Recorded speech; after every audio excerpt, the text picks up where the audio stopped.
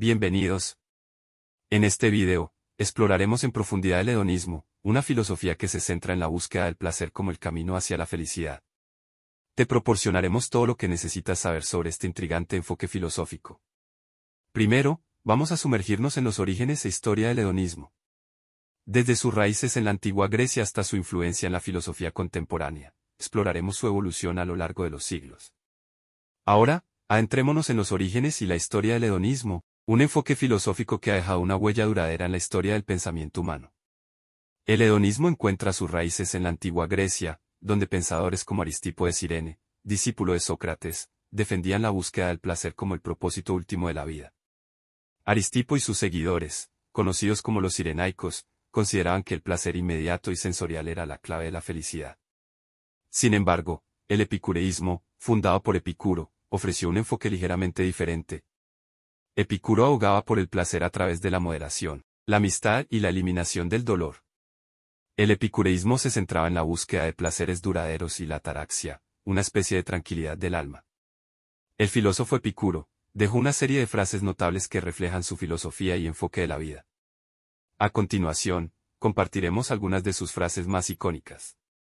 La justicia no es intrínseca, es un contrato artificial, útil en la medida en que produce ventajas. El placer es el principio y el fin de una vida feliz. La riqueza no consiste en tener muchas posesiones, sino en tener pocas necesidades. No somos lo que tenemos, sino lo que disfrutamos. El que dice que nunca ha tenido un amigo es como si dijera que nunca ha tenido un Dios. La satisfacción de un pequeño bien es a menudo más importante que la ambición de grandes bienes. Estas frases reflejan la importancia que Epicuro otorgaba al placer, la amistad y la moderación.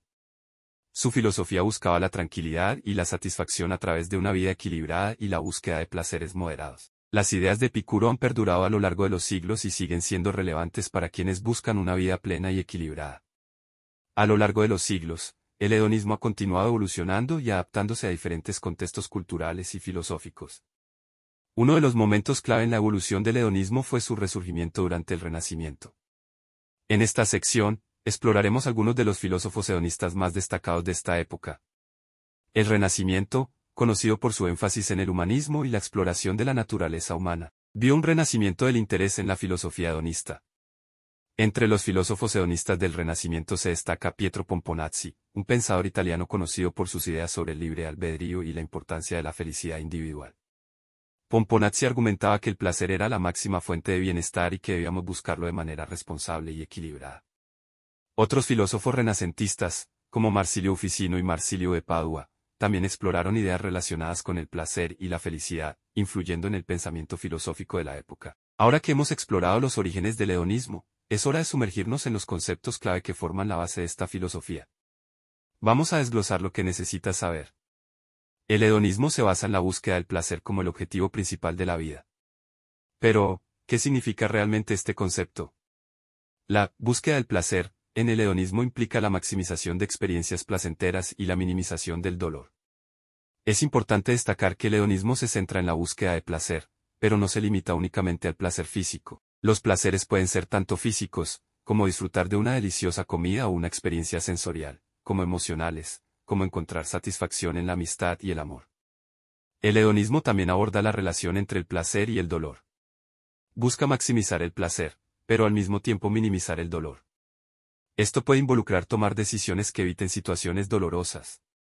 A lo largo de la historia, filósofos han desarrollado diferentes enfoques del hedonismo, incluyendo el hedonismo ético, que considera que el placer es intrínsecamente bueno, y el hedonismo psicológico, que explora cómo las personas buscan el placer en sus vidas.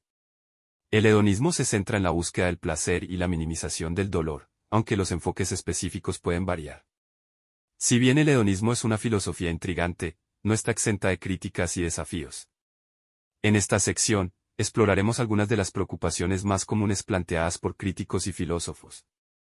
Uno de los desafíos más destacados es la preocupación de que la búsqueda incesante del placer pueda llevar a comportamientos impulsivos y autodestructivos. Los críticos argumentan que el hedonismo podría fomentar el consumo excesivo de sustancias o la búsqueda de placeres a corto plazo en detrimento de la salud y el bienestar a largo plazo. Algunos filósofos también cuestionan si el hedonismo proporciona un propósito más profundo en la vida. Es la búsqueda constante del placer suficiente para llevar una vida significativa. La ética y la moral son otro punto de conflicto. Algunos críticos argumentan que el hedonismo podría llevar a la indiferencia moral, ya que se centra en la satisfacción personal por encima de consideraciones éticas más amplias. Aunque el hedonismo enfrenta críticas legítimas, los defensores de esta filosofía han propuesto enfoques para abordar estas preocupaciones, como la idea de la moderación y la búsqueda de placeres duraderos y saludables.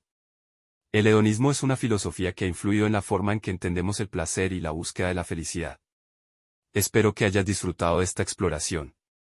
Si te ha parecido interesante, no olvides dar me gusta y suscribirte a nuestro canal para más contenido filosófico. Nos vemos en el próximo video.